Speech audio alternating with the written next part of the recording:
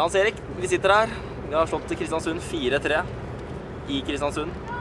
Spikeren i kista, eh, eller eh, hva man kan si. Vi vant eh, mot Ullern forrige uke og sikra opprykket, men i dag viste vi en enorm klasse ved å gå opp her og hente tre poeng i, på en overbevisende måte. Vi kan ta omgangene hver for seg. Første omgangen, Hans Erik. Jeg syns vi kommer ganske godt i gang. Ja. Vi jobber med å få inn vår rytme.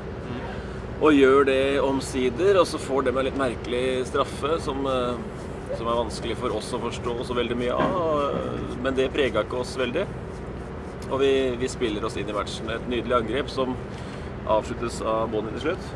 1-1 til pause, fair nok, men jeg føler at, likevel at vi var det mest spillende laget. Etter pause syns jeg vi viser at vi er eh, bedre enn Kristiansund. Og alt i alt, uten å eh, dypt analysere matchen, så alt i alt vinner vi fortjent.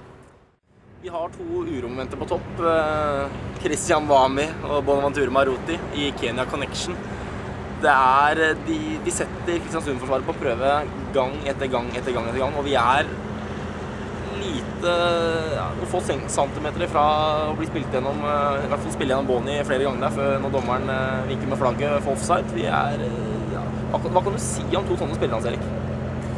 Først og fremst er de eh, veldig uforutsigbare. Eh, Først og fremst motstanderen, og innimellom for oss eh, i Follo også. Men, men kvaliteten på det altså Det er ingen som matcher Boni på fart og kraft, og det er få som matcher Bevami på, på kreativitet. Men, og sammen, når det funker, det er minst Adecco-ligaklasse. Vi leder serien med 14 poeng ned til eh, Kristiansund og Hødd. Vi har 57 poeng. Vi skal prøve å nå 60.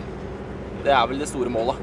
Ja, når vi har kommet dit vi har kommet nå, så er 60 poeng en, eh, en målsetting. Og det Hvor mange poeng det blir ned, det kan vi ikke ta så mye hensyn til da, for de andre eventuelt eh, vinner kampene sine. Men vi skal vinne vår, og, og i beste verste fall så kan det bli 17 poeng ned. Og da begynner vi å, å fortjene ligatittelen.